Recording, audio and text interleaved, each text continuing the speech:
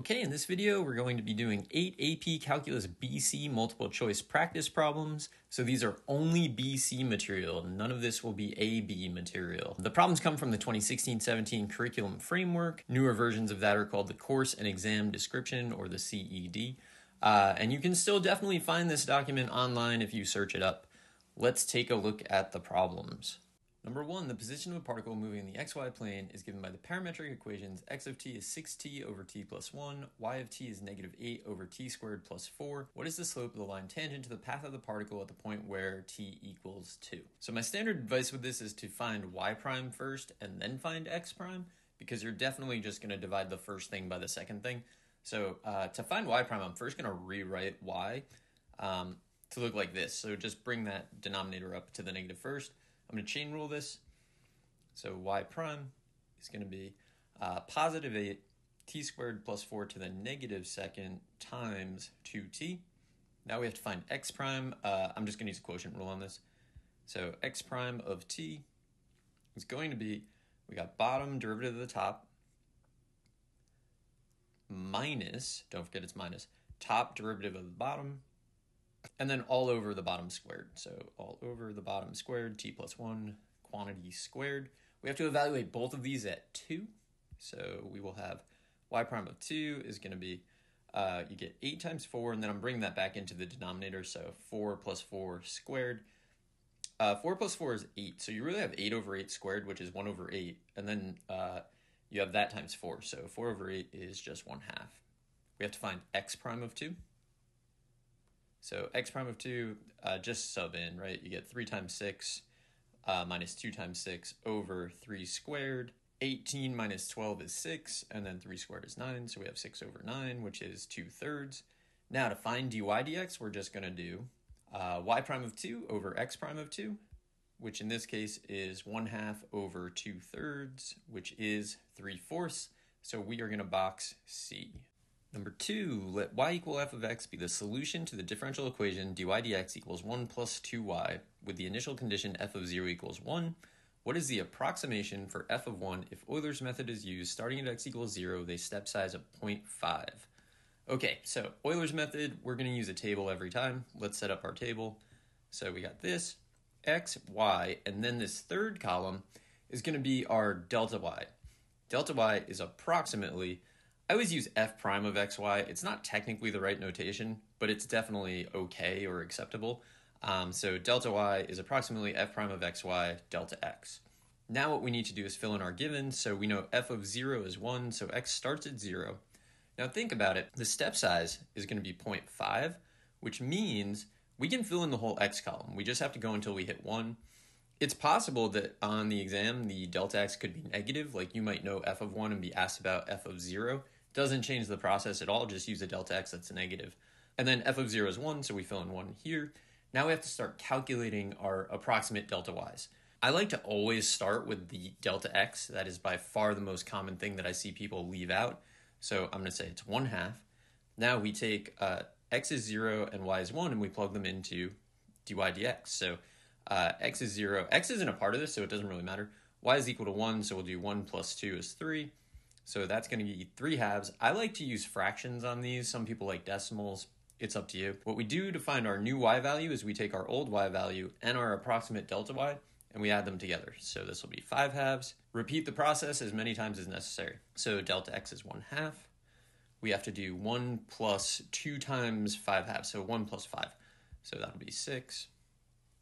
And then 6 over 2 is 3. And I'm going to add these together because I need to find this new y value. So 5 halves plus 6 halves is 11 halves.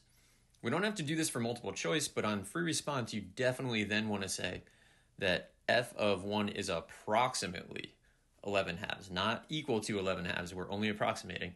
And then uh, we will box our answer, which is D.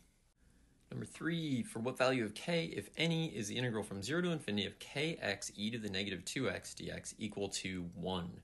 All right, so I look at this and I think immediately this is an improper integral, so we have to use the correct notation. If this is open-ended, it's not, so it doesn't really matter, but I'm still going to do it.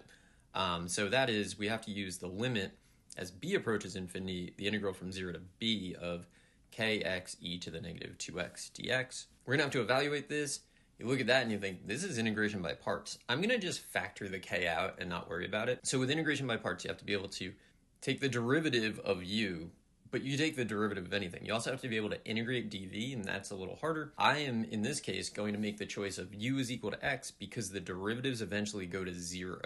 That's like the alternate plan. So I look at it and I say, can I integrate dv? I can. Um, if I can integrate both of them, then I would prefer to choose something where the derivatives go to zero because it means it's going to terminate eventually. All right, so if u is equal to x, then uh, du is dx. If dv is e to the negative 2x dx, then v is going to be negative 1 half e to the negative 2x. And now we're just going to set this up. So k times the limit as b approaches infinity of uv, so that's going to be negative 1 half x e to the negative 2x minus, oh, also, this is a definite integral, so we're going from 0 to b, minus the integral of uh, v du, right? So that's just negative 1 half e to the negative 2x and then dx. Uh, I'm going to finish the integral and then deal with the bounds. I'm not going to plug in yet. So uh, let's say we have k, still the limit. I'm going to still leave this, but I'm going to rewrite it a little bit.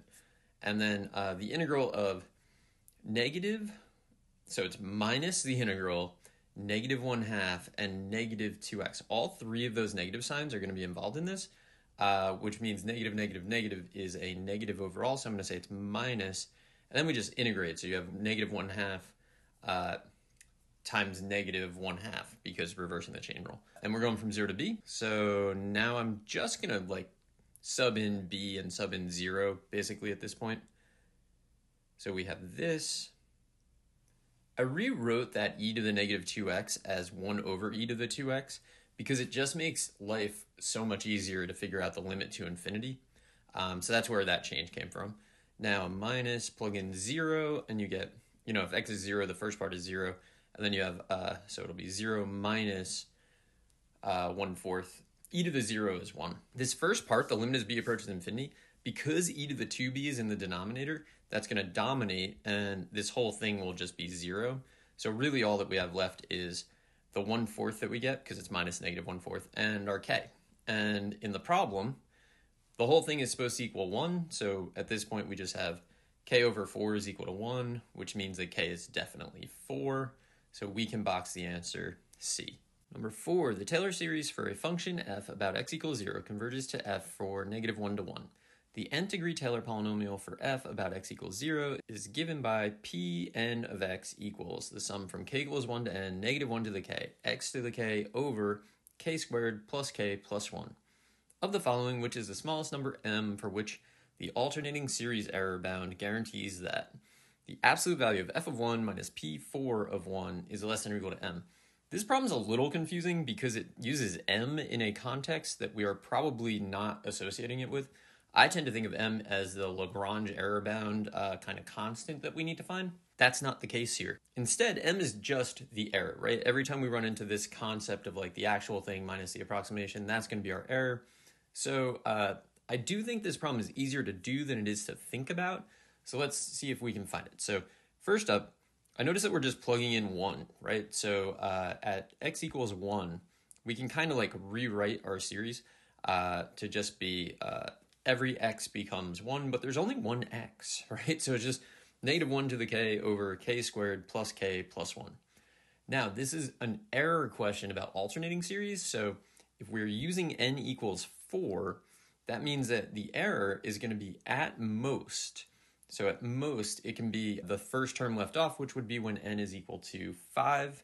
So I think to solve this problem, we just have to plug n equals 5 into our series above. So if n is equal to 5, what do we get? What's that term? So when n is 5, we get negative 1 to the fifth over 5 squared plus 5 plus 1. We actually need the absolute value of this because it's error. Um, and then if we just evaluate this, we get 1 over 31.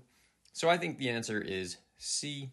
I actually think there's an alternate approach where you just start plugging in values, right? So k equals 1, 2, 3, 4, 5. Since we're only going up to 4 according to the problem, we just kind of like draw a little boundary there. The first term left off will be our error, which again gives us C.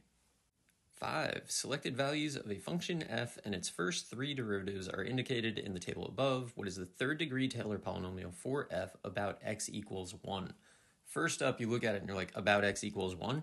That's really important. It means that the polynomial will always have quantity x minus 1, which means a cannot be the answer. But then I noticed something. I'm like, well, a is probably a distractor, which means if you look at these, those are probably the actual coefficients, which makes me think that B is going to be the answer. I'm going to do the problem anyway because it would be silly to answer based on that, but I think the answer is going to end up B. All right, now what we need to do is write our polynomial, right? So our polynomial is going to follow a pattern. It's going to be the nth derivative over n factorial x minus 1 to the n. That's going to be like each term as we go through.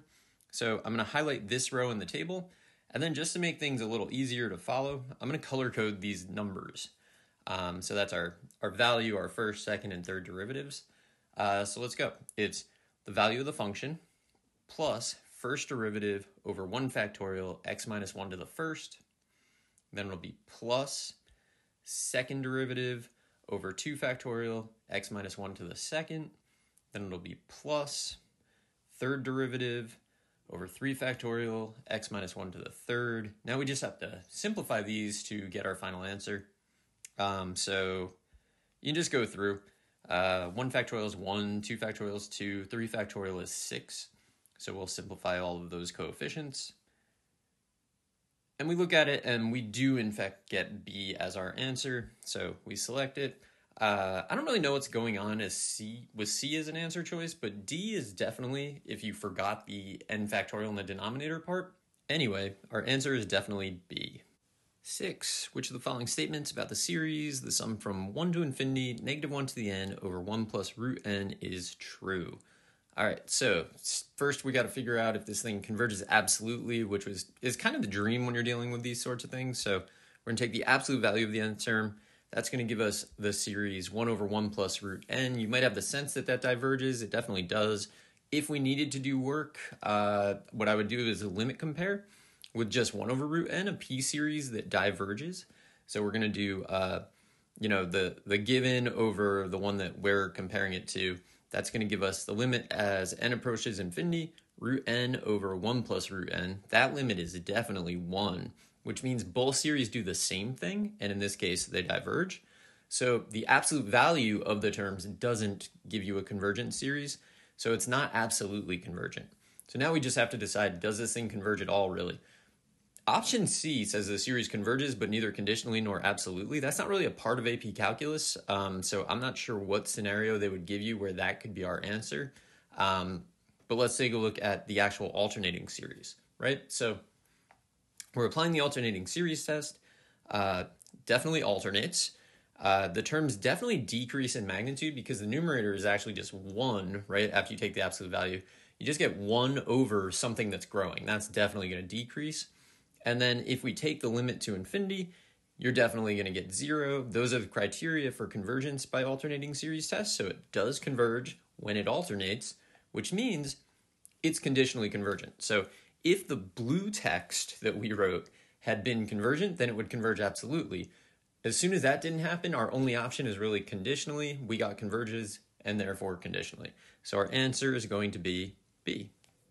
7. At time t greater than or equal to 0, particle moving in the xy plane has velocity vector given by v of t equals 4 e to the negative t comma sine of quantity 1 plus root t what is the total distance the particle travels between t equals 1 and t equals 3? This is definitely going to be a calculator problem.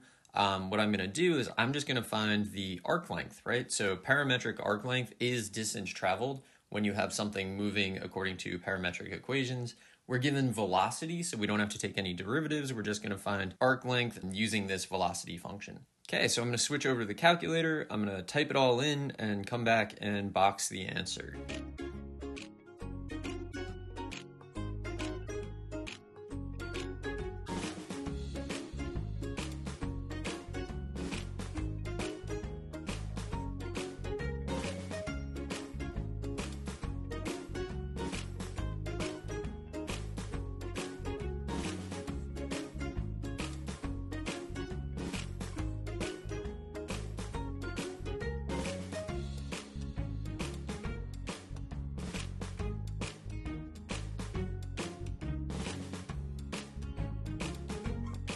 Based on all of that, we can see that the answer is A. 8. For x greater than or equal to 1, the continuous function g is decreasing and positive. So positive, continuous, decreasing. So we can use the integral test.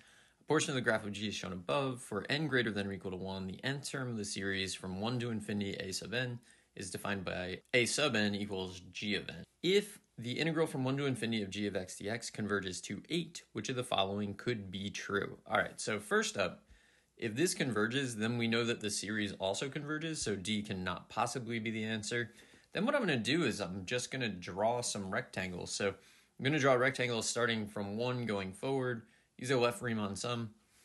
So if we look at this, every one of those rectangles is bigger, and if the integral itself gives you 8, then the sum of those rectangles has to be bigger than 8. The only answer that we could have here is C.